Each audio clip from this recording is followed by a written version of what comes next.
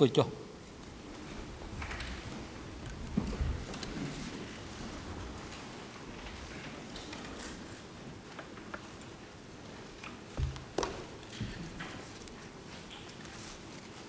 អង្គជំនុំរះប្រកាសបន្តកិច្ចដំណើរការនីតិវិធីសកម្មការតាមកាលវិភាគដែលបានជម្រាបជូនភាគីរួចហើយគឺនៅរុស្ស៊ីនេះយើងដំណើរការស្ដាប់សក្ខីកម្ម ស័ក្តិសិទ្ធិ TCW 542ហើយមុននឹងឈានចូលដល់កិច្ចដំណើរការស្ដាប់សក្ខីកម្មស័ក្តិសិទ្ធិរូបនេះ អង្គជំរះសូមជម្រាបជូនដំណឹងដល់ភាគីនៃរឿងក្តីនិងសាធារណជន បានជ្រាបថាកិច្ចដំណើរការសកម្មភាពនៅរុស្ស៊ីនេះនឹងប្រព្រឹត្តទៅ ត្រឹមតែមួយពេលអឺ ទេគឺប្រព្រឹត្តទៅ ត្រឹមតែពេលឈប់សម្រាកគឺម៉ោង4:40នាទីម៉ោង2:40នាទីអឺដើម្បីអង្គជំរះមានពេលវេលាអឺមួយចំនួន សម្រាប់ពិភាក្សាផ្ទៃក្នុងលើបញ្ហាសំខាន់សំខាន់មួយចំនួនកិច្ចដំណើរការសកម្មភាពសម្រាប់ថ្ងៃស្អែកវិញគឺនៅតែប្រព្រឹត្តទៅជាធម្មតា ដូចហើយដូច្នេះសូមភាគីនិងសាធារណជនជ្រាប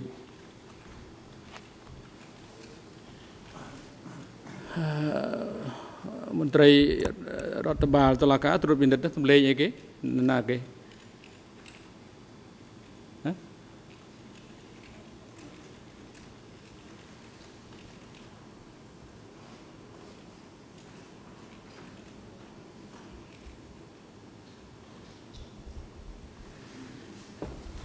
កលាមជីនៅរាយការណ៍អំពី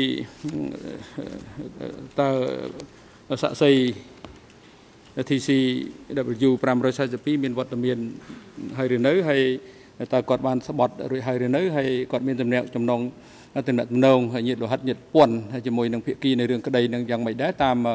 អ្វីដែលគាត់សមត្ថភាពដែលគាត់បានដឹងនោះ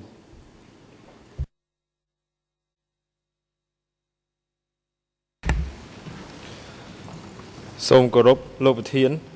សាកសី TCW 542ដែលអង្គជំនុំជម្រះបានកោះហៅ មានវត្តមានរួចហើយ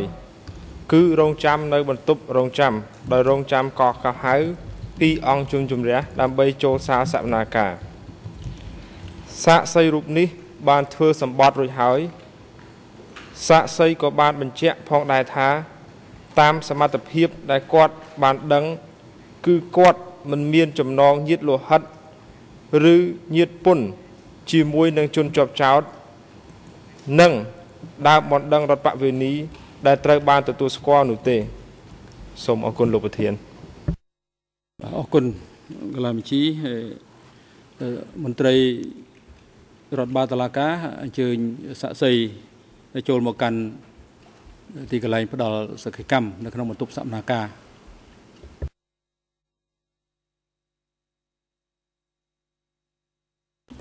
សូមអញ្ជើញលោកមេធាវីដំណមុខតំណាងដើមនឹងរដ្ឋវិនីសូមគោរពលោកប្រធានក្នុងទន្ទឹមនឹងពេលដែលសាកសីកំពុងធ្វើដំណើរខ្ញុំចង់ជម្រាបសូមជម្រាបជូនលោកប្រធានអឺពាក់ព័ន្ធនឹងសាកសីនេះមេធាវីនៅមុខសូមប្រកុលសិទ្ធជូនលោកមេធាវីសំសកុងហើយនឹងលោកស្រីមេធាវីហ្វីលីពីនសុទ្ធសម្រាប់ធ្វើអន្តរាគមពាក់ព័ន្ធនឹងសាកសីនេះសូមអរគុណលោកប្រធានបាទអរគុណដែលបាន បញ្ជាក់អំពីមេធាវីតំណាងដើមនឹងរដ្ឋមន្ត្រីទទួលសិទ្ធតាមប្រធានបទនៃឬក៏តាមការសាកសួរទៅសាក់សីជាក់លាក់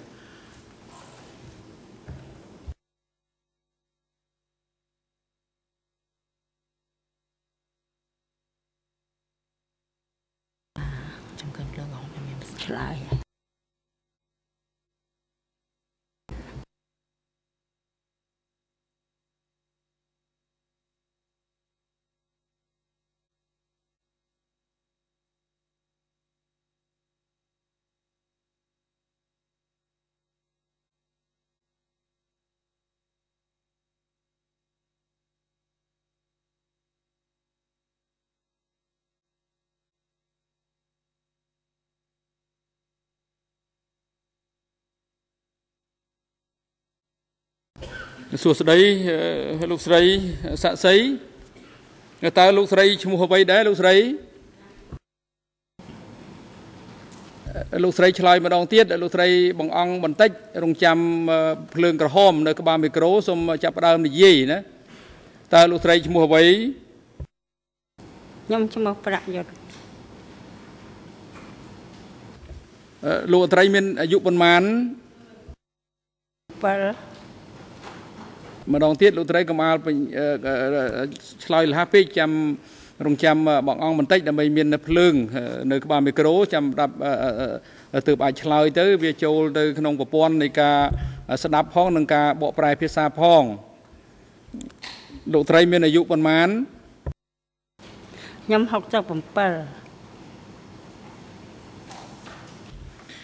លោកត្រីមានទីកន្លែងកំណើតនៅ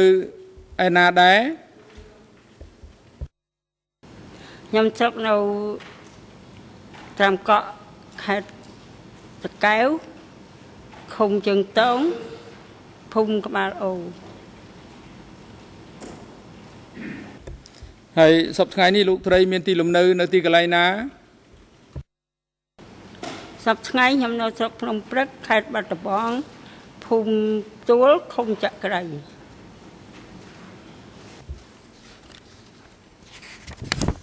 លោកត្រីមានអឺប្តីដែរឬទេហើយប្តីលោកត្រីឈ្មោះអីចំនួន77ម្ដងទៀតលោកត្រីចាំស្ដាប់អឺសំណួរហើយនឹងចាំភ្លើងក្រហមអឺនៅក្បាលមីក្រូសូមឆ្លើយណាអឺលោកត្រីអឺសពថ្ងៃនេះនៅ មាន ប្តីដែរឬទេឬក៏ជាស្ត្រីមេម៉ាយខ្ញុំមិនម៉ាយ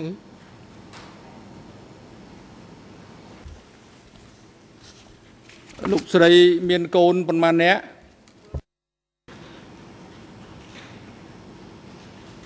ម្ដងទៀតនៅអត់ đây មិនទាន់ចាំទេហើយឲ្យអង្គបន្តិចណាលោកស្រីមានកូនប៉ុន្មាននាក់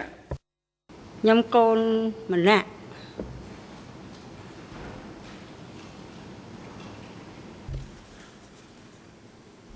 លោកស្រីប្រយុទ្ធ តាមរបាយការណ៍របស់កលាមជីសមនាការថាតាមសមត្ថភាព ដែលលោកស្រីអាចដឹង គឺលោកស្រីមិនមានជាប់ញាតលោហិតឬក៏ញាតពន្ធដូចជាឪពុកម្ដាយអឺកូនបច្ឆាញាតបងប្អូនប្រុសស្រី បងថ្លៃអឺប្តីអឺត្រូវបានទទួលស្គាល់ជាដើមម្ដងរដ្ឋវិនីនៅក្នុងទំនុំរឿងក្តីនេះទេតើជាការពិតមែនដែរឬទេ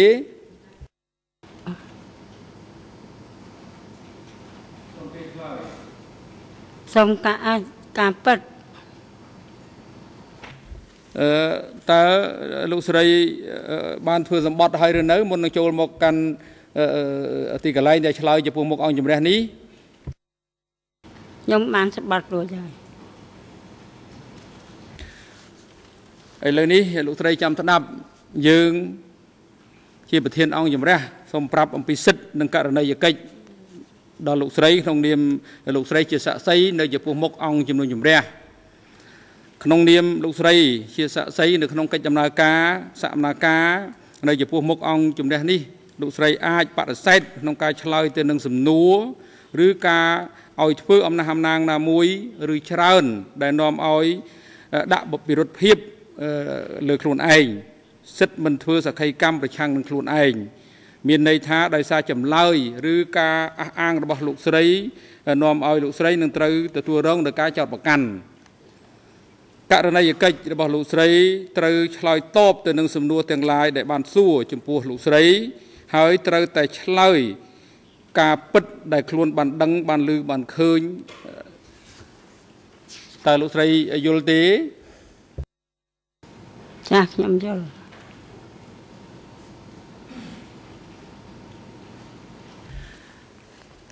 ជាកិច្ចបន្តអង្គជំរះសូមផ្ដល់វេទិកាជូនទៅ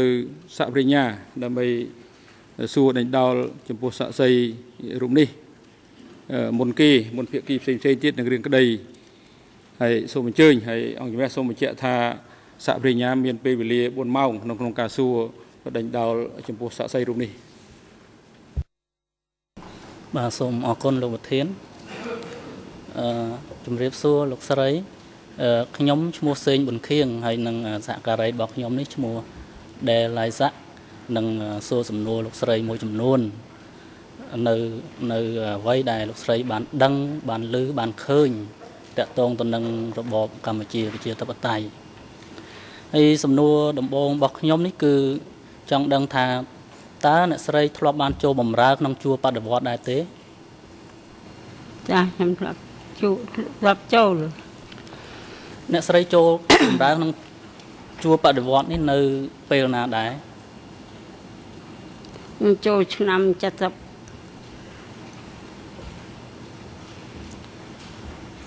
តើអ្នកស្រីបានដឹងទេថាការចូលបដិវត្តនឹងគឺដើម្បីដើម្បីអ្វីទៅខ្ញុំអត់ដឹងដែរកាលនោះទៅទៅចេះចូលតាមគេតាមឯង អញ្ចឹងនៅពេលនោះគេគេឲ្យអ្នកស្រីធ្វើអ្វីដែរហើយធ្វើនៅកន្លែងណាខ្ញុំកាលនោះអត់តបានធ្វើអីយ៉ាងចូលមកក៏នៅទីកុមារអឺអ្នកណាតើអ្នកណាជាអ្នកជ្រើសរើសលោកស្រីឲ្យចូលខ្ញុំបកហ្នឹងហើយអឺណែជ្រើសរើសនឹងអ្នកនាំណែនាំលោកស្រីអហ្នឹងត់ឲ្យដឹងចូលអ្នកបកណាដែរកាលនោះខ្ញុំអត់ដឹងថាអ្នកណានាំចូលណោះចេះឃើញគេចូលទៅមួយគេមួយឯងទៅ អញ្ចឹងលោកស្រីអាចជម្រាបបានទេថាការចូលបករបស់លោកស្រីហ្នឹងគឺធ្វើយ៉ាងម៉េចខ្លះទៅបានចូលបាក់នឹងផង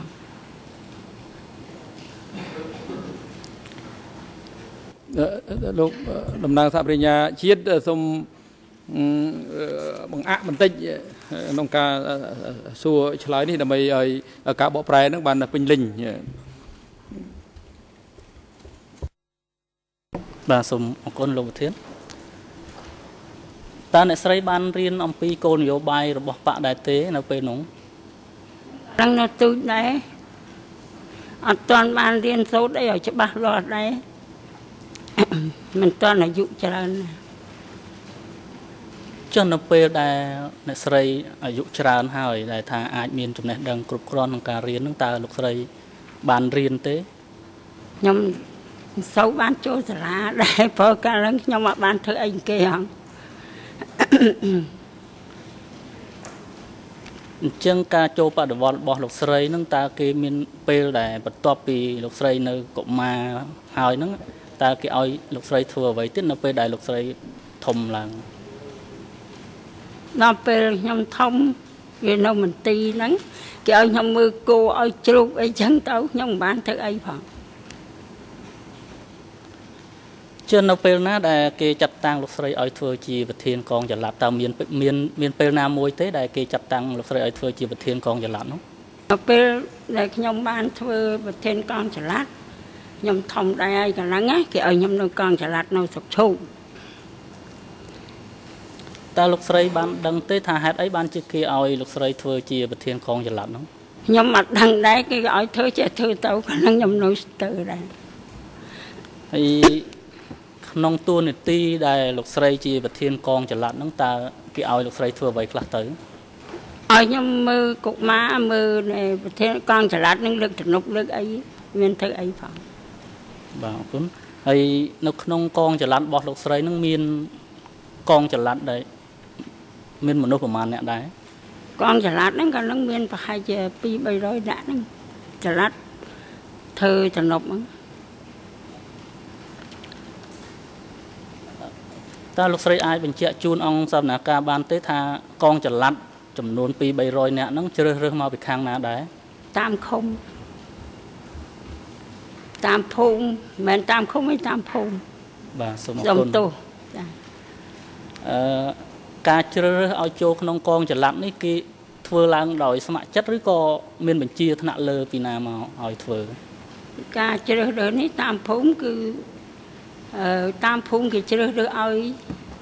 យើងយើងចេះយកមកមិនដឹងថាភូមិគាត់និយាយយ៉ាងម៉េចខ្ញុំមិនបានដឹងដែរបាទសូមអរគុណអឺលោកស្រីនៅចាំទេថាក្នុងស្រុកមួយដែលលោកស្រីនៅនោះកងចល័តទាំងអស់មានប្រមាណអ្នកដែរនៅខ្ញុំនៅនៅនៅស្រុកឈប់ហ្នឹងហ៎បាទហើយនៅ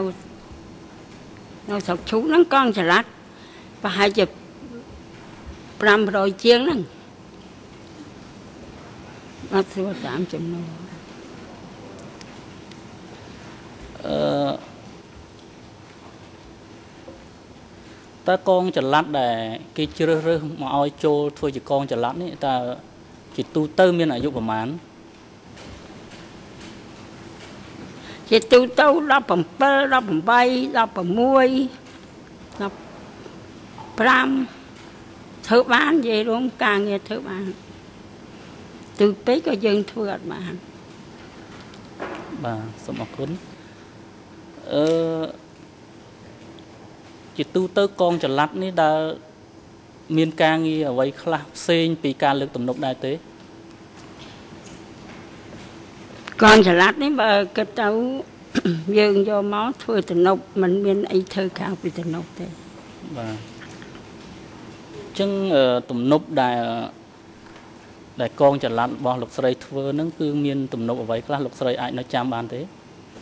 ខ្ញុំចាំបានដែរទំនប់យូរហើយតែលោកស្រីស្គាល់ទំនប់ត្រាំងទេខ្ញុំស្គាល់តែទំនប់ស្ទឹងប្រាំងមួយ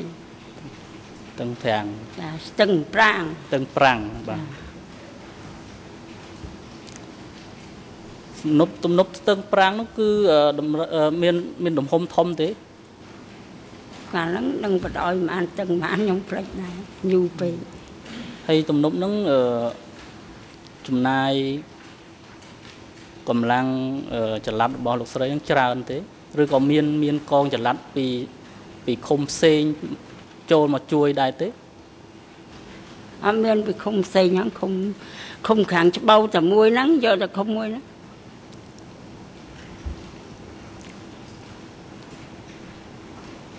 តើ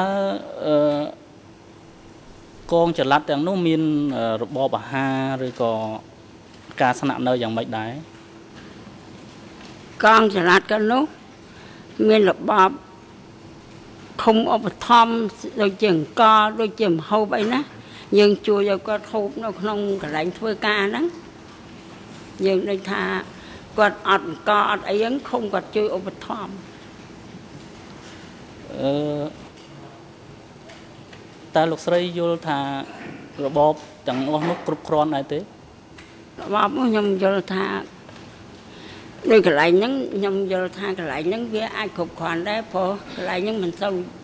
អីប្រមាណទេគឺយើងបានផ្ដល់ស្បៀងមកអញ្ចឹងឲ្យកងចល័តហូបគ្រប់គ្រាន់មិនមានបញ្ហាទេកន្លែងកន្លែងហ្នឹងតាមខ្ញុំពិនិត្យមើលណាវាអត់អឺសូមអញ្ជើញអឺមេធាវីអន្តរជាតិការពារក្តីនួនជា Yes, uh, thank you, Mr. President. In order to សូម establish ទុនលោក whether ប្រធានដើម្បី these បង្ហាញ questions and the តើ answer សំ given ណួ to រ those និង questions ចម្លើ are យ relevant ទាំងអស់ to នេះ the វា first ពាក់ព័ន្ធទៅនឹង mini trial and the mini វគ្គទី indictment. Uh, 1 It will be very នៃ helpful នៃ to ការ know បញ្ what ជូន period រឿង we ទៅចំនួន are ជំរះនោះគឺយើង speaking ចង់ about. Is it the ឲ្យវិញ្ញាបបញ្ជាក់ថាតើ pre-1975 period or is it គាត់លើ the កឡើង period នៅ after? បញ្ហាអង្គហេតុរំពាក់ព័ន្ធទៅនឹងកំឡុងមុនឆ្នាំ1975ឬក៏ចន្លោះ75ដល់79 បាទអរគុណនៅការធ្វើការសង្កេតរបស់អឺមេធាវីការពារក្តីអឺនួនជាអឺសហតំណាងសហប្រញ្ញាជាតិសូមបញ្ជាក់បញ្ហានេះពីព្រោះអឺកិច្ចដំណើរការសម្ដែងការអឺសហប្រញ្ញាបានជ្រាបហើយយើងកំណត់នៅអឺបញ្ហាដែលយើងលើកមកដេញដោលនេះ គឺពាក់ព័ន្ធជាមួយនឹងតែអឺ សំណុំរឿង002ឆ្លាស់1គឺអឺអង្គហេតុដំណាក់កាលដំបូងនៃកិច្ចដំណើរការសមនការដែលអង្គជំរះបានរៀបចំជូនភាគីរួចហើយហើយឥឡូវនេះគឺអាចអឺសួរដេញដោលបញ្ហានេះថាតើអឺមានការពាក់ព័ន្ធអ្វីទៅនឹងអង្គហេតុដែលកំណត់អឺ របស់អង្គជំរះលដំបងសម្រាប់ធ្វើសកម្មភាពនៅក្នុងដំណាក់កាលដំបូងដែលយើងអាចហៅម្យ៉ាងទៀតថាសំណុំរឿង002ឆ្លាស់មួយនេះ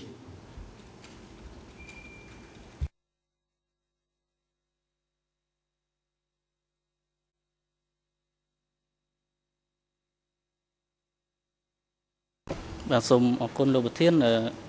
ខ្ញុំសូមសួរទៅសាក់សីជាបន្ត ហើយតើលោកស្រីអាចបញ្ជាក់បានទេរយៈពេលដែលធ្វើការនោះគឺនៅក្នុងរយៈពេលណាដែរលោកស្រីនៅចាំពេលវេលា ឆ្នាំអីដែរទេខ្ញុំដូចបានចាំពេលវេលាដែរមិនដឹងជាឆ្នាំប្រហែលខ្ញុំនិយាយរួមផ្លេចការចងចាំដែរហ្នឹង ឆ្នាំចិត្តប្រហែលខ្ញុំវាមិនបានកត់ត្រាទុកបាទសូមអរគុណអឺលោកស្រីបានឆ្លើយនៅចំពោះមុខអ្នកស៊ើបអង្កេតកាលពីថ្ងៃទី18ខែវិច្ឆិកា ឆ្នាំ2009ត្រង់សំណួរទី22គឺអ្នកស្រីបានឆ្លើយថាខ្ញុំបានព្យាយាមដោះស្រាយបញ្ហានោះ បើមនុស្សល្អគឺយើងបញ្ជូនទៅកន្លែងល្អនិងមនុស្សដែលអាក្រក់គឺយើងបញ្ជូនទៅកន្លែងអាក្រក់តើកន្លែងអាក្រក់នេះអ្នកស្រីចង់មានន័យថាយ៉ាងម៉េចដែរខ្ញុំចង់និយាយកាលនោះខ្ញុំមានការអប់រំដូចថាកន្លែងអ្នកល្អដូចទៅហៅខូចលួចអង្គលួចអីចឹងនៅកន្លែងកងចល័តចឹងដល់ពេលយើងអប់រំដូចថាកន្លែងហ្នឹងវាក្រោយយើងយកមិនយកតាណាគឺថាកន្លែងអប់រំមានអ្នកផ្សេងអប់រំទៀត មិនយកតាណាទេដូចថាខ្ញុំអប់រំដូចថាឥឡូវពូឥឡូវជួយពួកឯងជួយអប់រំខ្ញុំផងព្រោះវាវាមិនកែខ្ញុំចង់និយាយថាវាអត់កែហ្នឹងអញ្ចឹងអត់មានយោធនាទេហើយអ្នកស្រីក៏បានឆ្លើយនៅ ដំណាក់កាលស៊ើបសួរនេះដែរថាចំពោះដែលមានឯកសារលេខ D 234/16អឺ លោកស្រីបានឆ្លើយថាចំពោះការសម្លាប់គឺយើងមិនសម្លាប់ពួកគេភ្លាមទេគឺបញ្ជូនទៅថ្នាក់លើដើម្បីអប់រំបន្តតើការអប់រំបន្តនេះគឺបញ្ជូនទៅខាងណាដែរហើយធ្វើយ៉ាងម៉េចខ្លះទៅសូមសូមជើញលោកមេធាវីអនុជា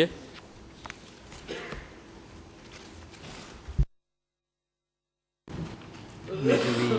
កាពីក្តីលោកអនុជា I would like to make the same objection I, I do not know what incidents ខ្ញុំមិនដឹងថាតើអង្គហេតុ is referring to ហេតុការណ៍ណាមួយដែលសាភិញ្ញាកំពុងចង្អុលយោងនៅក្នុងអំឡុងរយៈកាលណាដែរ I'm unable to look at question 22 while he's asking the question មិនអាចមើលសំណួរ22ដែលគាត់ថានៅក្នុងសំណួរ22ខ្ញុំមិនដឹងនៅកន្លែងណានោះទេដូច្នេះគាត់គួរតែបញ្ជាក់ឲ្យបានច្បាស់ជាងនោះថាតើគាត់យោងត្រង់ចំណុចមួយណា ប៉ុន្តែចំណុចដែលសំខាន់នោះខ្ញុំចង់ដឹងថាតើសហប្រញ្ញាកំពុងតែចង្អុលយោនៅក្នុងរយៈកាលណាមួយក្រោយឆ្នាំ75ឬក៏យ៉ាងម៉េចប្រសិនបើចំណុចអត់ពាក់អត់ពាក់ព័ន្ធទេគឺវាមិនពាក់ព័ន្ធទៅនឹងអ្វីដែលយើងពិភាក្សាជាពិសេសការពិភាក្សារបស់យើងគឺទៅលើសំណាក់ការដំណាក់កាលដំបូងសូមជើញលោកមេធាវីអន្តរជាតិការពីក្តីអៀងសេរី Good afternoon, Mr. President. Good afternoon, Your Honor. And good afternoon to everyone in and around the courtroom. I object to the form of the question, uh, the way that uh, the gentleman is using uh, the statement as opposed to eliciting testimony from uh, the witness. They're leading the witness with what's in the statement and then trying to get them to explain what was said. កំណត់ហេតុនោះហើយជាយាម in the statement ឲ្យសាក់សីបញ្ជាក់ថាតើគាត់មានន័យយ៉ាងម៉េច we think this is the appropriate uh, way of doing things គិតថាចំណុច to ask questions of the witness សម្រាប់សួរទៅសាក់សីនោះ in an open-ended fashion if the witness does not recall and it's necessary to refresh the witness's memory uh, with the statement to then go to the statement but to then but we object to the use of the statement in the manner in which នោះតែម្ដងយើងខ្ញុំសូមជំទាស់នៅទម្រង់ដែលការប្រើប្រាស់ចម្លើយនៅក្នុងកំណត់ហេតុយកមកសួរបញ្ជាក់ដូចនេះតែម្ដងសូមអរគុណអរគុណការជំទាស់របស់មេធាវីទាំងពីរមានប្រសិទ្ធភាពដូច្នេះមេតំណាងសហប្រញ្ញាជាតិសូមរៀបចំកែសម្រួលនៅសំណួរ របស់ខ្លួនឲ្យបានត្រឹមត្រូវហើយបញ្ហាសំខាន់គឺពិនិត្យលើត្រឹមត្រូវតាមនីតិវិធីនៃការបង្ហាញផុសតាងចំពោះមុខអង្គជំរះហើយនឹងអង្គហេតុដែលអង្គជំរះបានកំណត់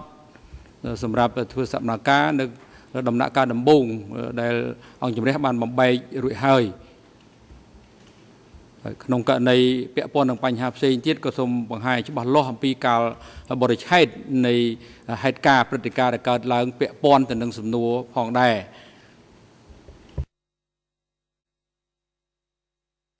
បាទសូមអរគុណលោកប្រធានអឺខ្ញុំបន្តសំណួរតទៅទៀតអឺ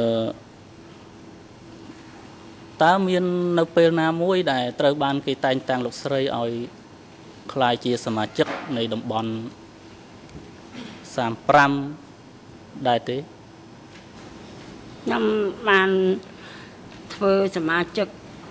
នៅកម្ពុជានៅឆ្នាំ70 73ឬបានចាំណាខ្ញុំបានធ្វើសមាជិកនៅខេត្តកំពតសមាជិកទី4 តែខ្ញុំអត់ចាំថ្ងៃខែដែលបានចូលធ្វើនោះមិននឹងឆ្នាំ70ប្រហែល73ឬក៏74ខ្ញុំអត់ចាំបាទសូមអរគុណអឺតើតំបន់35នេះស្ថិតនៅក្នុងភូមិភាគអ្វីដែរហើយភូមិភាគនេះដឹកនាំដោយនរណាតំបន់35ស្ថិតនៅក្នុងភូមិភាគនេរដី ភូមិភាគនេរដីនោះដឹកនាំដោយអ្នកណាដែរតាមមក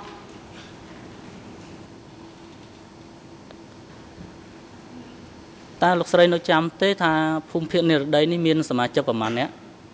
អត់ដឹងខ្ញុំអត់ដឹងដែរនឹងគាត់មានប្រមាណអ្នកតើលោកស្រីនៅចាំទេថាលេខាភូមិភាគអលេខាតំបន់35ដែលលោកស្រីជាសមាជិកនោះឈ្មោះអ្វីដែរ នឹងឈ្មោះអីដែរគាត់ខ្ញុំអត់ចាំចាំសមាជិកសមាជិកតែប្រធានកាលហ្នឹងនឹងគាត់យកមកពីណាខ្ញុំអត់បានស្គាល់ឈ្មោះទៀតបានសមាជិកដូចឆ្លាប់អស់ហើយដូចតែផលដូចតែសៀនដូចតែទីតកត់អីឆ្លាប់អស់ហើយនៅសល់ខ្ញុំមួយតាកាលនោះឆ្លាប់អស់ហើយបាទសូមអរគុណអឺខ្ញុំ ចង់សម្ដៅទៅលើលេខាលេខាតំបន់35តើលោកស្រីនៅចាំទេ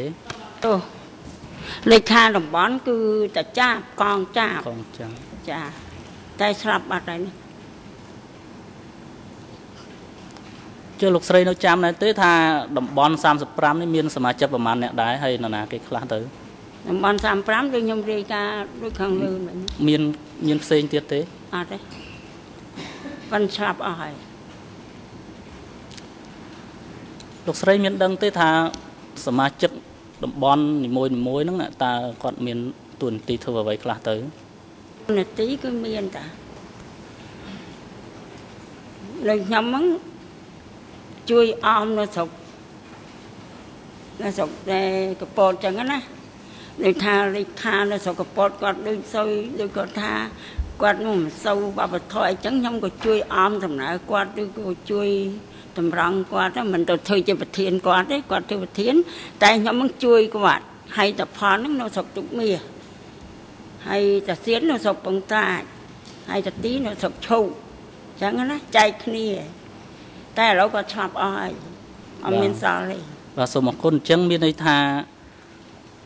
សមាជិកតំបន់មួយមួយហ្នឹងគឺទទួលបន្ទុកទៅស្រុកមួយមួយអញ្ចឹងមែនទេ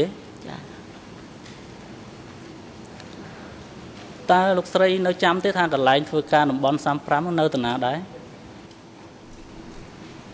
អាហ្នឹងអត់កំណត់កន្លែងណាកន្លងដូចទីហៅថាតែកងចាំក៏ត្រូវប្រជុំនៅស្រុកឈូកឬក៏ស្រុកទុកមាសឬស្រុកពងត្រាអញ្ចឹងណា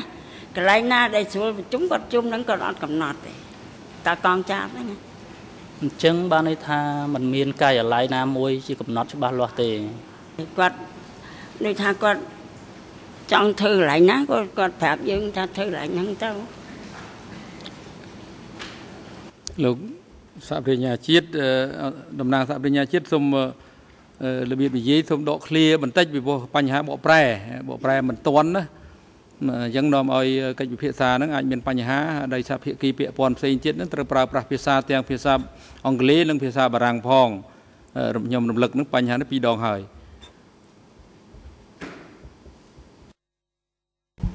បាទសូមអរគុណតតើការងារលោកស្រីដែលទទួលបន្ទុកស្រុកកំពតនឹងមានអ្វីផ្សេងក្រៅពីការបញ្ជាក់អំបញ្ញមិញនេះទេតើមានការអប់រំខាងនយោបាយដល់ប្រជាជនអ្វីទេខ្ញុំនឹងថាប្រធាននៅលេខាស្រុកហ្នឹងក៏ដាក់ឲ្យខ្ញុំជួយធ្វើខ្ញុំចេះជួយប៉ុន្តែឲ្យខ្ញុំទៅអា នៅលើចាត់ចែងលើស្រុកគាត់ខ្ញុំមិនហ៊ានព្រោះខ្ញុំជំនួយការគាត់បាទសូមអរគុណនៅតើលោកស្រីដឹងទេថានៅអឺក្នុងស្រុកនីមួយៗរបស់តំបន់35ហ្នឹងតើមានកន្លែងអប់រំកែប្រែអីទេខ្ញុំសូវដឹងទេព្រោះគាត់អឺ ធ្វើតាមស្រុកនីមួយមួយចាក់ការរៀងខ្លួនខ្ញុំនៅស្រុកណានៅស្រុកហ្នឹងខ្ញុំដែលដល់មើលតាមស្រុកគេហ្នឹងគេធ្វើម៉េចខ្ញុំបានដឹងដែរចែកគ្នាដាច់ដាច់ចុះនៅស្រុកលោកស្រីតើមានទេ មានកន្លែងអប់រំកែប្រែនឹងដែរទេហ្នឹងមានកន្លែងអប់រំកែប្រែតែតាប្រធានក៏ទទួលខុសត្រូវខ្ញុំមិនបានចូលរួមជាមួយគាត់ទេ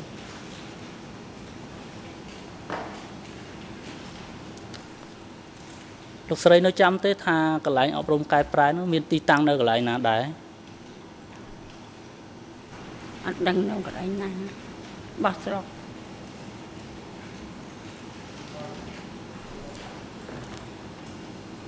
លោកស្រីដឹងទេថាកន្លែងអប់រំកែប្រែនោះគឺសម្រាប់ធ្វើអ្វីទៅ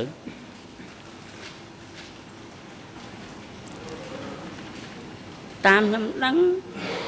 ការអប់រំមនុស្សឲ្យកែប្រែដូចថានឹសខូចនឹសអីចឹងឲ្យកែប្រែកុំអុយវាអាក្រក់អីថែមទៀតណាមានតែប៉ុណ្ណឹងទេមានអីអស់មានអីធំដុំទេលួចមានដើរលួចមន់លួចទាតាមកន្លែងកងតាមភូមិអីចឹងណាយើងអប់រំមក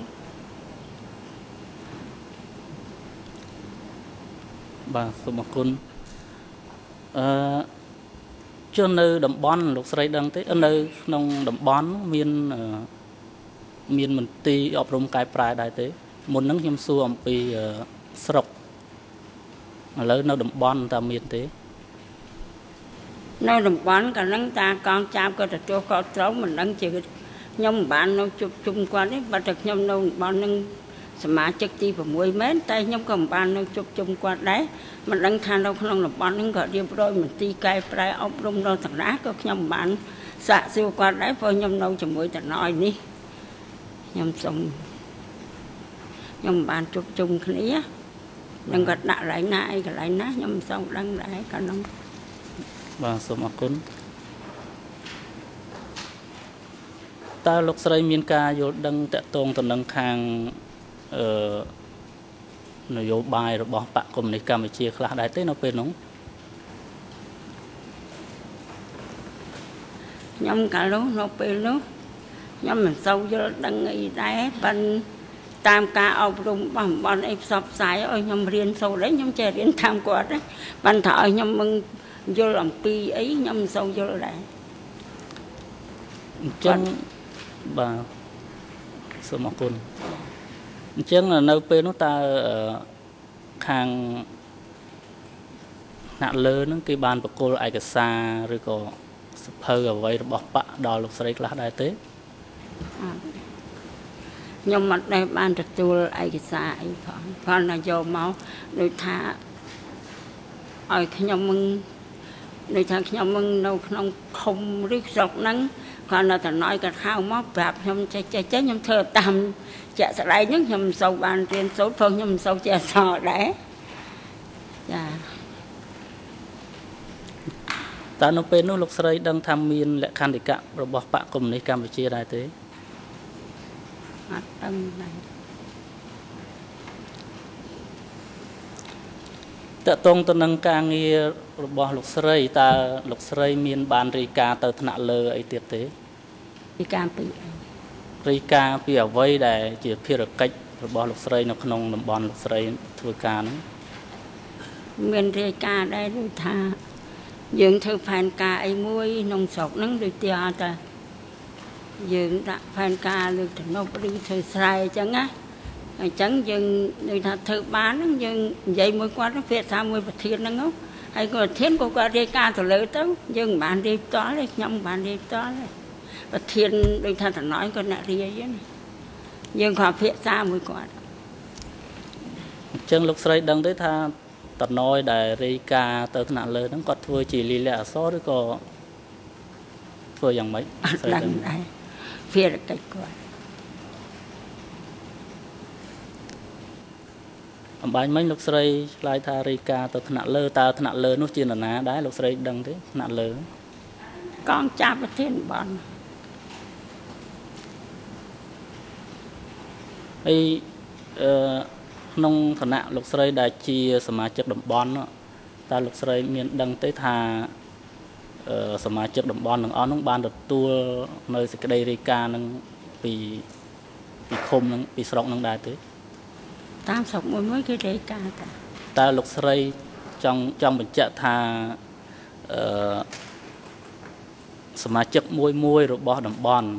តើបានទទួលការរាយការណ៍នឹងដែរទេបានដឹងទេពីការរាយការណ៍ពីថ្នាក់ក្រោមមកនឹងពីថ្នាក់ក្រោមរាយខាងលើហ៎បើបានទទួលខ្លះអត់ខ្លះអញ្ជើញលោកមេធាវីនួនជា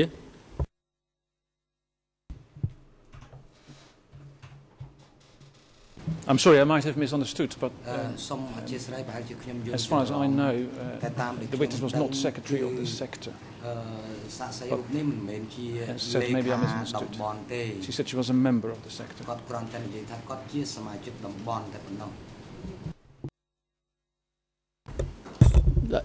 ជាការត្រឹមត្រូវហើយសាក់សីមិនមានពាក្យណាមួយគាត់និយាយថាខ្លួនគាត់ជាលេខា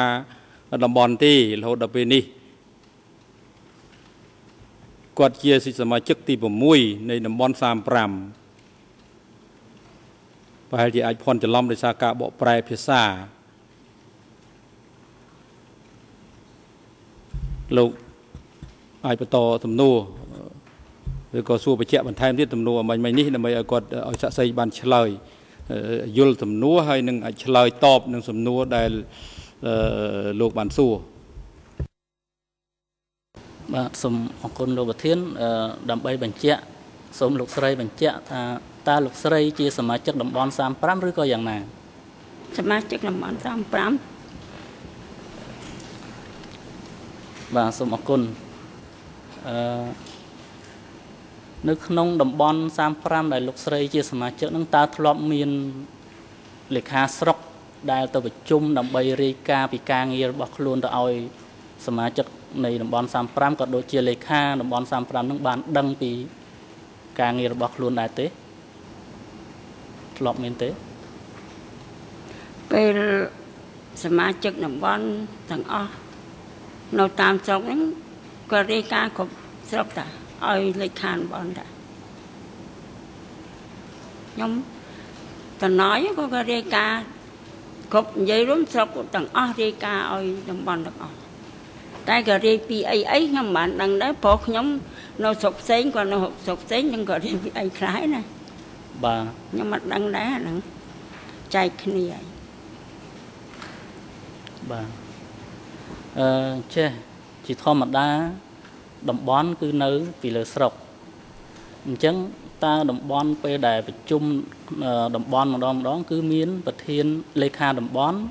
ហើយនិងសមាជិកតំបន់ចូលរួមប្រជុំ តើនៅពេលដែលប្រជុំនោះតើមានដូចជាលេខាស្រុកមួយមួយហ្នឹងធ្លាប់ដែរមករាយការណ៍ដល់លេខាតំបន់និងសមាជិកតំបន់ក្នុងអង្គប្រជុំដែរទេមានលេខាលេខាស្រុកទាំងអស់ឡើងទៅរាយការណ៍តំបន់មានថា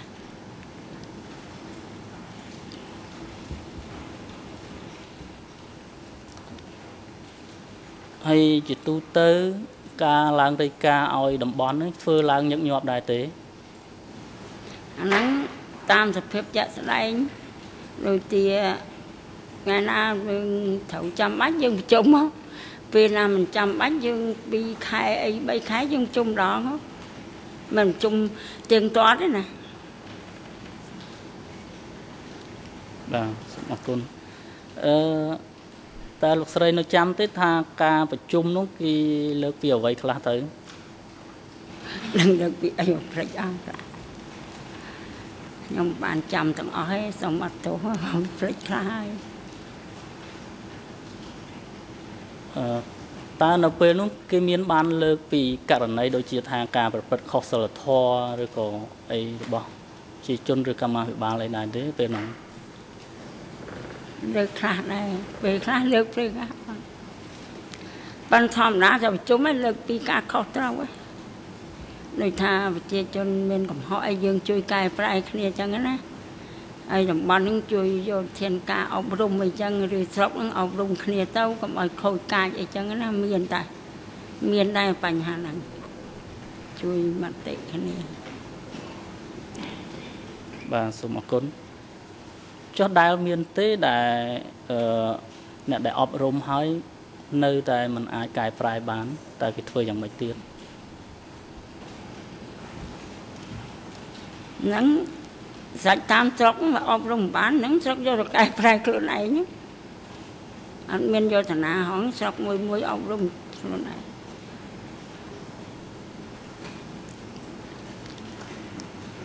ស្រុក នៅពេលដែលក្នុងករណីដែលស្រុកនឹងគាត់អប់រំមិនបានតើស្រុកបញ្ជូនទៅណាទៀតឬក៏យ៉ាងម៉េចដែរដឹងដែរព្រោះតាមស្រុកមួយមួយនឹងគេអប់រំឲ្យយកទៅណា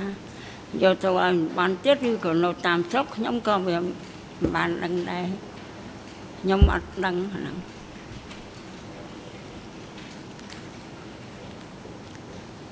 ខ្ញុំចង់បញ្ជាក់លោកស្រី ម្ដងទៀតថានៅការប្រជុំបំបញ្ញមិញមានតកតងទៅនឹងការលើកឡើងពីការប្រព្រឹត្តខុសសិលធម៌ដែរឬទេក្នុងការប្រជុំវាមានហើយលើកក្នុងការប្រព្រឹត្តសិលធម៌អីហ្នឹងយើងបានអប់រំណាយើងបានលើកក្នុងប្រជុំដែរតើលោកស្រីអាចជម្រាបជូនអង្គសាវនាការបានទេថាការប្រព្រឹត្តខុសសិលធម៌នឹងមានន័យយ៉ាងម៉េចទៅ ខ្ញុំសូមចាំខុសសិលធម៌នឹងខូចស្រីខូចអីហ្នឹង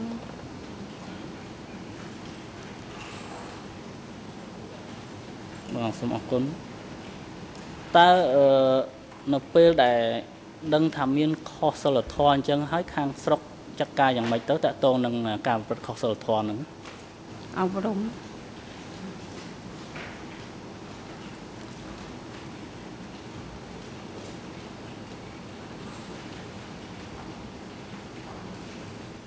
លោកស្រីអាចបញ្ជាក់បានទេថានៅក្នុងកិច្ចប្រជុំរបស់គណៈតំបន់មានប្រមាណប្រភេទប្រជុំពីអីខ្លះលើកឡើងបញ្ហាអីខ្លះកម្លាំងប្រជុំលើកបញ្ហាកសាងដូចជាយើងកសាងទំនប់កសាងអីហ្នឹងមានធ្វើអីទេបាទសូមអរគុណខ្ញុំចង់បញ្ជាក់ថាការប្រជុំហ្នឹងដូចជាការប្រជុំសាមញ្ញធម្មតាមិនធម្មតាតើមានទេ សាមញ្ញធម្មតាប្រជុំពីរឿងធ្វើទំនប់ធ្វើបន្លាយអីតែប៉ុណ្ណឹងមានប្រជុំអីផងទីការប្រជុំនឹងធ្វើឡើងញឹកញាប់ដែរទេមានមិនសូវញឹកនេះមានការចាំបាច់ទេប្រជុំមិនសូវបាច់ក៏មិនសូវបានប្រជុំដែរខ្ញុំចង់បញ្ជាក់ពីនៅការប្រជុំនៅគណៈតំបន់តើតើការប្រជុំនៅគណៈតំបន់ធ្វើឡើងញឹកញាប់ដែរទេ ពេលខ្លះក៏មិនសូវបានញឹកញាប់ដែរវល់ការងារអីក៏សូវបើថា3ខែអីយើងជុំពិនិត្យពីការងារដែលយើងដាក់ចុះទៅអញ្ចឹងណាយើងមិនបានញឹកញាប់មកពេលរហវេលាទេ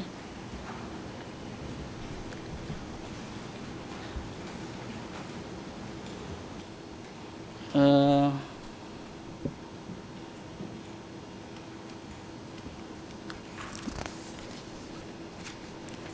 តើលោកស្រីដឹងទេថាគណៈតំបន់ដែលលោកស្រីធ្វើការហ្នឹងមានបញ្ជូនរបាយការណ៍អ្វីទៅខាងថ្នាក់លើដូចជាភូមិភាគអីដែរទេខ្ញុំខ្ញុំអត់ដឹងដែរព្រោះអាហ្នឹងការងារគាត់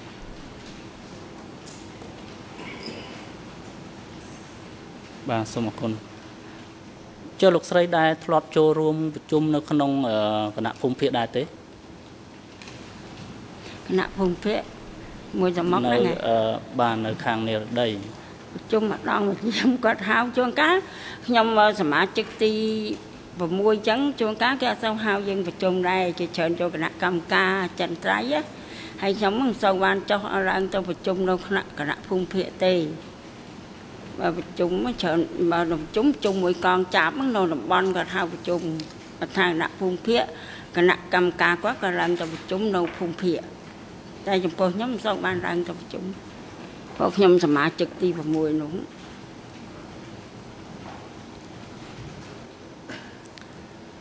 ចុះមានដែលធ្លាប់ខាងភូមិភាគគាត់បានណែនាំឬក៏ធ្វើរបាយការណ៍មកខាងតំបន់ឲ្យអំពីលទ្ធផលនៃកិច្ចប្រជុំនឹងបានយ៉ាងម៉េចយ៉ាងម៉េចខ្លះហើយត្រូវធ្វើអ្វីខ្លះបន្តទៀតដែរទេអាហ្នឹង បើគាត់ធ្វើកម្មវិធីណែនាំមកគាត់ណែនាំតំបន់ដែរណែនាំមកកងចាបកងចាបគាត់យកមកជួនកាលគាត់ប្រជុំមកជួនកាលគាត់ប្រជុំនៅស្រុកអីចឹងណាយកដល់ផ្សាយឲ្យស្រុកបាទសូមអរគុណឥឡូវចំណុចមួយទៀតតកតងទៅនឹងតួនាទីដែលជាខាងកិច្ចការនារីតើលោកស្រី នៅពេលណាមួយត្រូវបានតែងតាំងជាប្រធានកិច្ចការនារីនៅតំបន់35នេះដែរទេនៅឆ្នាំ70ក្នុងនឹងអត់មានហើយ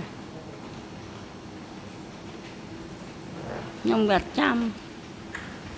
ឆ្នាំចិត្តម៉ានចិត្ត3ឬចិត្តម៉ានខ្ញុំផ្លេចអញ្ចឹងមានចាឆ្នាំហើយ តើទូនីតិដែលជាប្រធានកិច្ចការនារីនោះតើគេឲ្យលោកស្រីធ្វើអ្វីខ្លះទៅខ្ញុំកាលហ្នឹងទួលនារីកិច្ចការនារីអត់មានធ្វើអីគេឲ្យអប់រំដូចថាយើងចុះផ្សព្វផ្សាយខាងនារី ខាងអីហ្នឹងអត់មានធ្វើអីហ្នឹងឲ្យជួយអប់រំកុមារនៅតាមភូមិអីចឹងខាងខាងវប្បធម៌ឬខាងគ្រូបរិញ្ញាគ្រូអីហ្នឹងណាខ្ញុំមិនបានធ្វើអីដែរ ក៏កិច្ចការនារីខាងអប់រំជួយអប់រំនារីហ្នឹងខាងធ្វើគ្រូបរិញ្ញាគ្រូអីហ្នឹងខ្ញុំបានអប់រំតែឲ្យទៅធ្វើអីធំដុំអត់មានទេចុះតើអ្នកស្រីបំពេញការងារនៅខេត្តកំពតនឹងនៅស្រុកកំពតនឹងរហូតដល់ពេលណាដែរខ្ញុំពេញស្រុកកំពតឆ្នាំ70 3ឆ្នាំ 3ឆ្នាំមុនខ្ញុំបានចាំឆ្នាំទៀតក្នុងហ្នឹងមានដែរលោកខ្ញុំវាមិនចាំថ្ងៃខែដែលយើងបានចូល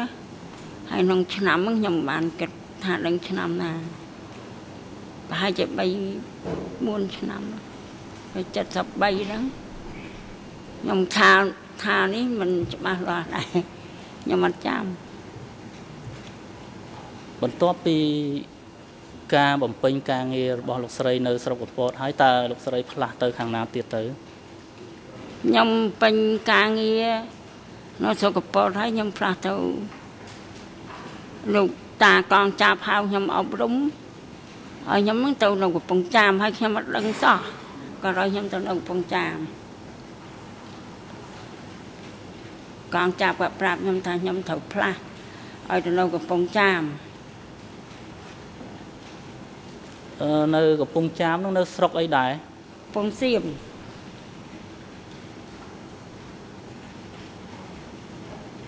ស្រុកកំពង់សៀមនេះស្ថិតនៅក្នុងតំបន់ប្រមាណហើយភូមិភាគអីទៅ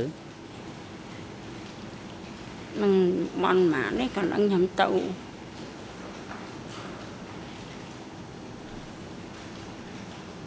នៅបន់តែ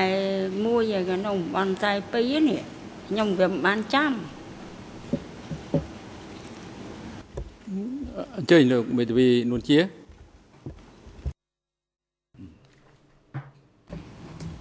again, in order to establish whether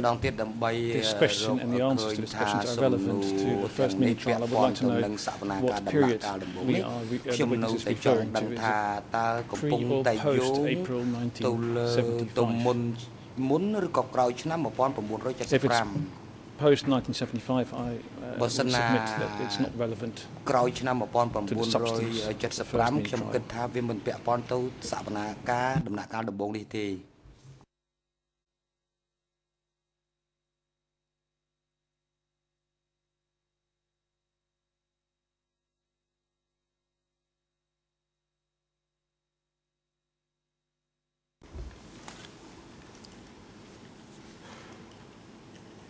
អរគុណលើការកត់សម្គាល់របស់លោកមេធាវីប៉ុន្តែនៅក្នុងឧបសម្ព័ន្ធកថាខណ្ឌផ្នែកនានានៃការដំណោះស្រាយដែលតកតងនឹងការជំនុំជម្រះដំណាក់ការដំបូងនៅក្នុងតំណរឿង002មិនមានខ្លឹមសារកំណត់កាលវេលាការបរិច្ឆេទដោយអ្វីដែលមេធាវីបានលើកឡើងទេបញ្ហាដែលការធួដេញដោលសាក់សីគឺភាគីដែលពាក់ព័ន្ធត្រូវ ធ្វើការអាចធ្វើការនៅក្នុងក្របខ័ណ្ឌនៃអង្គហេតុដែលអង្គជំរះបានរៀបចំជូនភាគីរួចហើយឯកសារ E 124/7.2ប៉ុន្តែភាគីត្រូវដែលពាក់ព័ន្ធត្រូវតែរៀបចំ នៅការតាំងសំណួរ របស់ខ្លួនដោយរៀបចំភាពពាក់ព័ន្ធទៅនឹងកថាខណ្ឌដែលបានចោតប្រកាន់តាមលំដាប់លេខរៀងពីលេខតូចទៅលេខធំ នៅបញ្ហាណាដែលខ្លួនយល់ឃើញថាសាក់សីរូបនោះ បានដឹងបានឮបានឃើញ ពាក់ព័ន្ធនឹងអង្គហេតុនានាដែលមានការចោទប្រកាន់នៅក្នុងដីកាដំណោះស្រាយដែលអង្គជំរះបានបំបែកយកមកធ្វើសមនាការនៅដំណាក់កាលដំបូងក្នុងសំណុំរឿងលេខ002/1ការដែលចាប់ផ្ដើមដំណើរការដំបូងក៏បីត្រូវប្រព្រឹត្តទៅ ទៅតាមអង្គហេតុដែលអង្គជំរះបានកំណត់ធ្វើសមនាការសម្រាប់វគ្គ1 គឺប្រវត្តិបកកុម្មុយនីសកម្ពុជា បន្ទាប់មកទៀតគឺអង្គភាគីអាចសួរដេញដោលតាមលំដាប់លេខរៀងពីតូចទៅធំជាបន្តបន្ទាប់នៅក្នុងក្របខ័ណ្ឌឯកសារ E124/7.2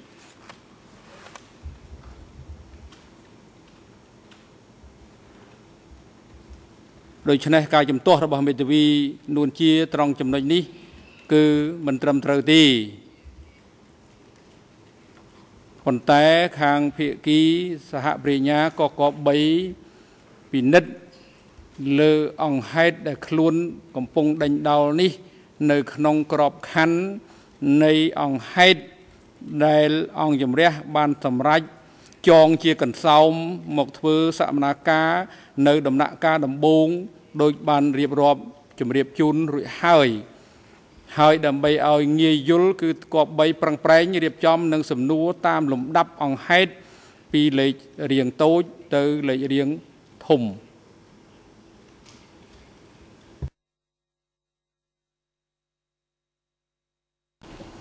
បាទសូមអរគុណលោកប្រធានអឺ ខ្ញុំនឹងបន្តសំណួរទៀតហើយគ្រាន់តែបញ្ជាក់ថានេះ ការសួរនេះគឺវាពាក់ព័ន្ធទៅនឹងរចនាសម្ព័ន្ធរបស់កម្ពុជាប្រជាធិបតេយ្យផងដែរហើយនៅពេលដែលលោកស្រីធ្វើការនៅស្រុកកំពង់សៀមនោះតើលោកស្រីមានតួនាទីជាអ្វីដែរខ្ញុំតួនាទីលេខាស្រុក តើលោកស្រីដឹងទេថាមូលហេតុអីបានជាគេផ្លាស់លោកស្រីឲ្យទៅធ្វើការនៅស្រុកកំពង់សៀមនោះវិញខ្ញុំអត់បានដឹងដែរព្រោះកងចាប់ហៅខ្ញុំទៅជួប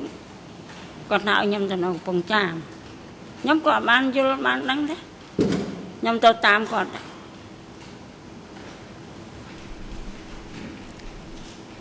តើនៅពេលនោះលោកស្រីមានធ្វើខុសអ្វីទេបានជាគេខ្ញុំអត់ដឹងខុសមិនខុសខ្ញុំអត់ដឹង ព្រោះគាត់ហៅខ្ញុំទៅជួបគាត់ឋានៈលេខាអីយើងស្ដាប់គាត់មិនប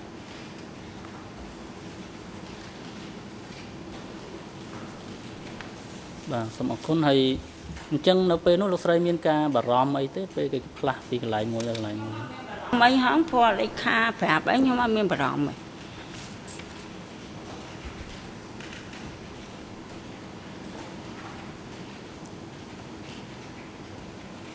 នៅពេលដែលលោកស្រីធ្វើដំណើរពីធ្វើដំណើរទៅកាន់ស្រុកកំពង់សៀមដែលជាទូនីតិថ្មីរបស់ស្រីហ្នឹងតើលោកស្រីបាន ធ្វើដំណើរមកកាត់ក្រុងភ្នំពេញដែរទេខ្ញុំកាត់កាត់ក្រុងភ្នំពេញតែមានចូលគាត់ឲ្យខ្ញុំជិះឡានទៅចាំគាត់នៅកំពង់ចាមនៅពេលដែល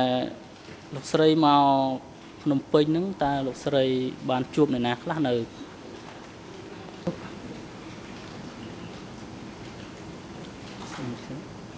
អត់មានបានជួបទេ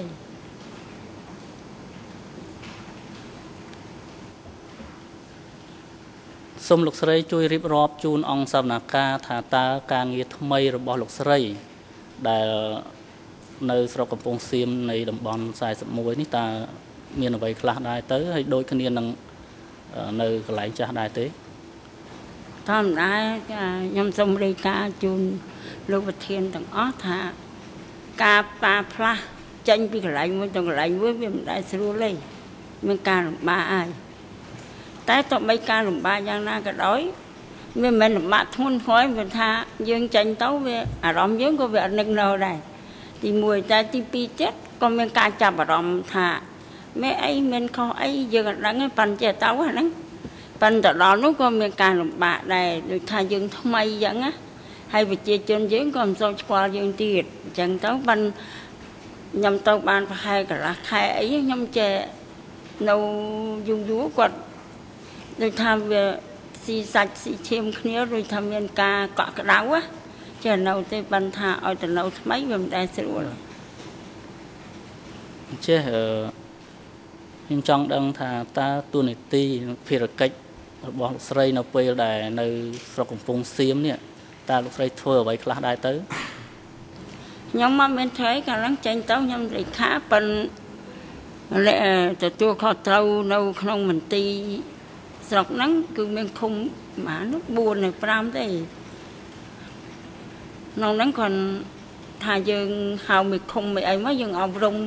ជួយដើម្បីកសាង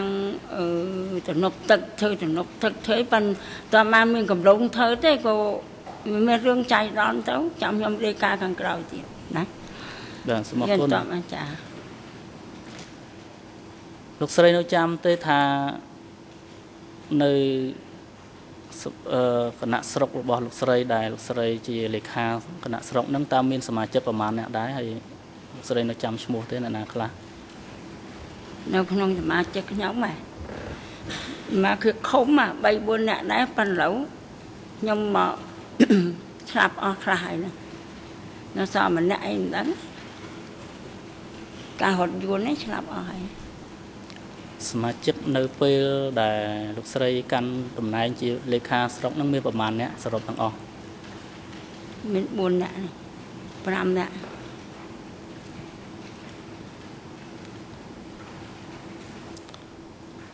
លោកស្រីដឹងទេពីការតែងតាំងសមាជិក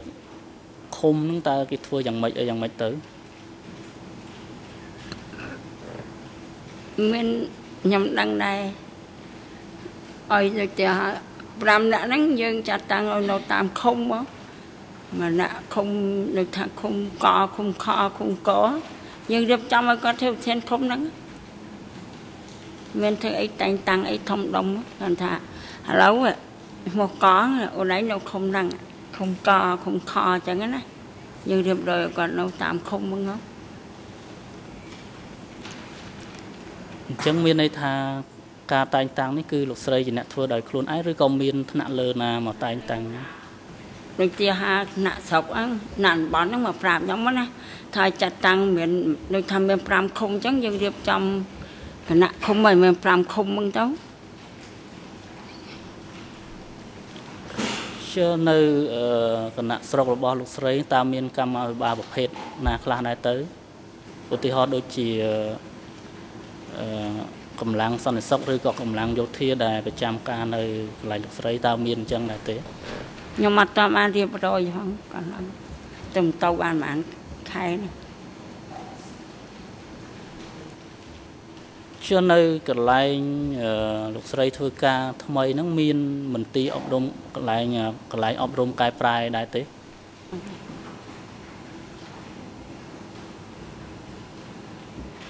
អឺនៅពេលនោះតើលោកស្រីស្គាល់ថាមន្ទីរសន្តិសុខភ្នំប្រុសភ្នំស្រីដែរទេនៅកន្លែងនោះខ្ញុំអត់ដឹងដែរព្រោះហ្នឹងខាងភូមិភាគរបស់ភូមិភាគ ខ្ញុំមិនដែលបានដឹងថាមន្ទីរសន្តិសុខនៅភ្នំស្រីភ្នំប្រុសក៏ខ្ញុំអត់ដែលដឹងហើយខ្ញុំមិនសូវបានតាក់ទងគ្នាដែរព្រោះខ្ញុំនៅស្រុកខ្ញុំ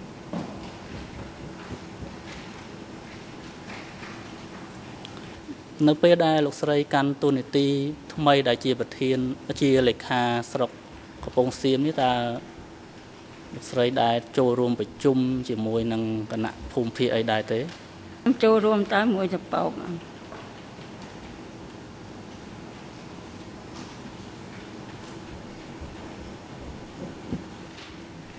ធានគណៈភូមិភាគនឹងឈ្មោះអីពកទៅមកកៅពកតែឆ្លាប់អីហើយ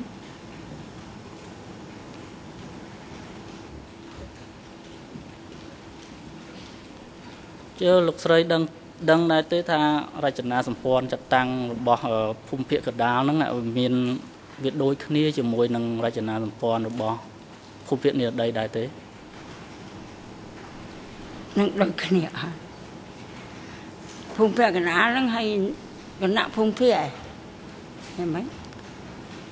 ខ្ញុំសោចស្ដាប់បានតតងទៅនឹងរចនាសម្ព័ន្ធគ្រប់គ្រងរបស់ភូមិភាគមួយមួយគឺមាន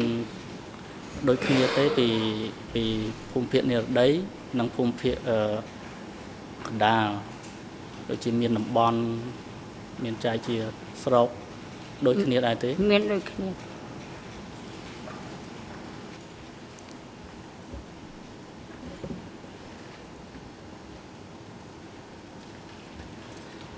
តើនៅកន្លែងកំពង់ស្រុកកំពង់សៀមដែលលោកស្រីធ្វើការហ្នឹងមានដែររាយការណ៍ទៅថ្នាក់លើដូចនៅតំបន់35ដែរទេ ចាមានរាយការណ៍ទៅបោកដែរថាអះ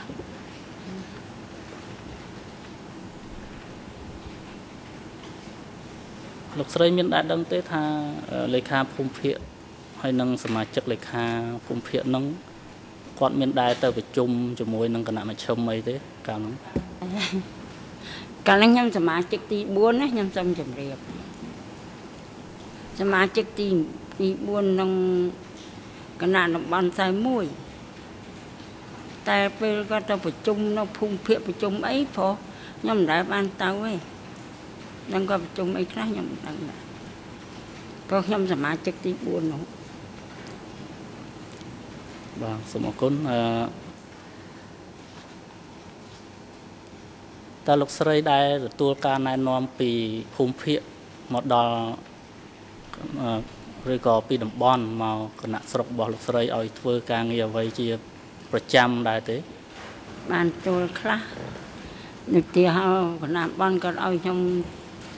ធ្វើបន្លាយធ្វើទំនប់អីហ្នឹងណាបានទទួល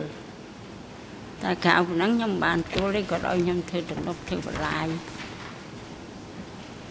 នៅក្នុងស្រុកឲ្យ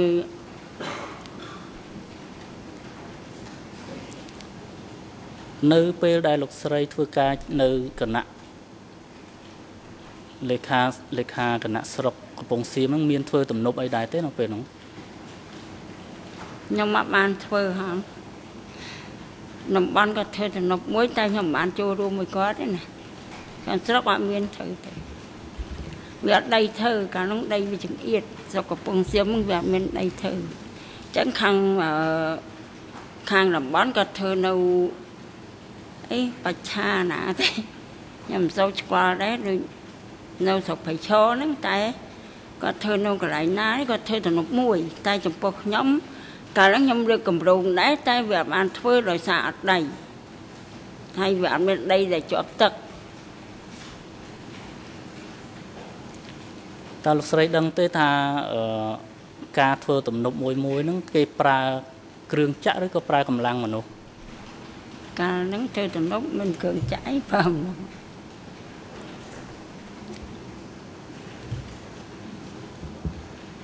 ប្រើមនុស្ស បាទ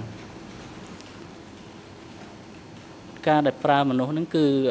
មានបញ្ជាពីស្នាក់លើណាឲ្យមកឲ្យជ្រើសរើសមនុស្សមកធ្វើការក្នុងទំនប់ហ្នឹងឬក៏លោកស្រីជាអ្នកជ្រើសរើសឲ្យទៅធ្វើតែម្ដងតំបន់គាត់ធ្វើដូចទីហៅទំនប់ហ្នឹងគាត់ធ្វើខ្លួនឯងណាហើយដូចថាឥឡូវគាត់ថាសុំកម្លាំងអីពីខ្ញុំអញ្ចឹងណាខ្ញុំជួយគាត់បាន4 20នាក់អីចឹងទៅឲ្យជួយធ្វើទំនប់ហ្នឹងឆាប់ មួយខែពីរខែក៏សុំ4 10នាក់អីយើងឲ្យគាត់ទៅតែចំពោះខ្ញុំខ្ញុំបានធ្វើទេទំនប់តែតំបន់គាត់ធ្វើអឺលោកស្រីមានដឹងទេថារាល់ការធ្វើទំនប់នោះមានបណ្ដាលឲ្យមនុស្សឈឺខ្លាំងឬក៏មានស្លាប់អីដែរទេកាលហ្នឹងទំនប់ខ្ញុំអត់បានគ្រប់គ្រងខ្ញុំដឹងដែរខ្ញុំអត់បានទៅចិត្តគាត់ណាគាត់ណាគាត់ណាធ្វើហើយខ្ញុំអត់បានធ្វើទេ ខ្ញុំនៅដូចថានៅភូមិនៅឃុំក្រោមឯងខាងស្រែខាងភ្លឺខាងបន្លាយចឹងណាខ្ញុំមិនបានទៅចិត្តទំនប់ទេចុះនៅពេលដែលលោកស្រីធ្វើទំនប់នៅ នៅ ក្នុងខេត្តកំពតដែលតំបន់35តើមានមានប្រជាជនអឺមានកម្លាំងដែលធ្វើទំនប់នឹងត្រូវបានឈឺធ្ងន់ឬក៏បណ្ដាលឲ្យមានស្លាប់អីដែរទេពេលនោះ ទំនប់ក៏ស្លាងដែរ